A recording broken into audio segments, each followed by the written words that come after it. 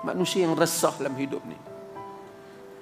Punca terbesar ialah kerana manusia gagal mendapatkan keampunan Tuhan.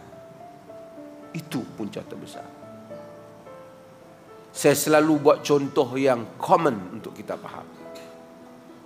Kita pergi bekerja di suatu pejabat, bos pejabat tu tak suka kat kita. Kita tengok pejabat tu pun kita sabut. Kita balik ke rumah, bapak kita tak suka kat kita. Duduk dalam rumah tu walaupun dia tak marah pada kita, kita akan serabut. Kita menumpang, bahkan kita menjadi hamba. Seratus peratus pergantungan kita pada Allah di dunia ini. Allah tak ampun kita. Kita akan sesak. Dan apabila hamba Allah dia tak tahu punca kesesakan nyawa jiwa dia kerana Allah tak ampun, dia mencari-cari jawapan dalam hidupnya yang dia tidak temui. Sebenarnya kerana dia tidak mendapat keampunan Allah. Sebab itu apabila Aisyah tanya Nabi, apa yang patut didoa? Nabi tak bagi tahu doa supaya kaya. Bukan salah doa kaya. Bukan salah doa banyak. Boleh. Tengok ada negara mana pergi kat Kaabah, dekat Kaabah. Dia doa fulus, fulus, fulus, fulus. Bukan salah. Nak doa. Tapi barangkali dia berfikir ada banyak duit, jiwa akan bahagia. Dia salah. Kebahagiaan bermula dengan keampunan Allah.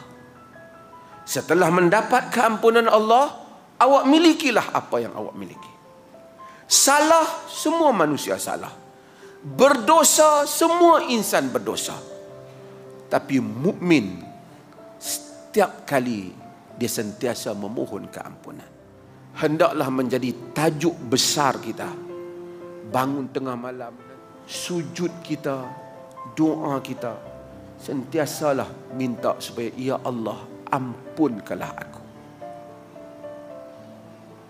Rabbi ghafirli. Itulah doa para nabi.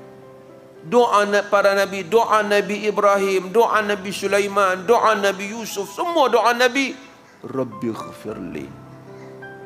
Dan itulah yang Allah suruh dalam Quran. Wa qur rabbirham. Wa qur rabbi ghafir warham. Wa anta khairur rahim. Katakanlah wahai Tuhan. Ampunkanlah dan kesianlah. Engkaulah yang sebaik-baik yang kesian.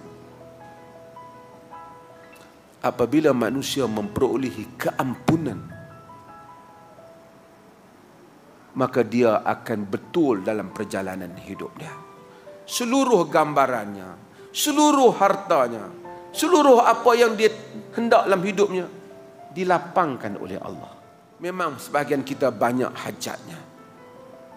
Tapi hendaklah tahu hajat kita yang terbesar dalam hidup pagi dan petang yang mesti kita pohon daripada Allah ialah memohon keampunan Allah.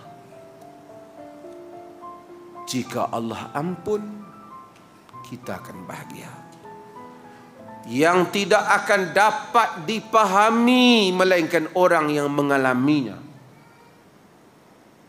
Jika Allah tak ampun dapatkanlah segala kedudukan dan harta dunia ini kita akan sentiasa tayyiqan harajan ka'annama yas'adu fis sama sesak dada seperti mana naik ke langit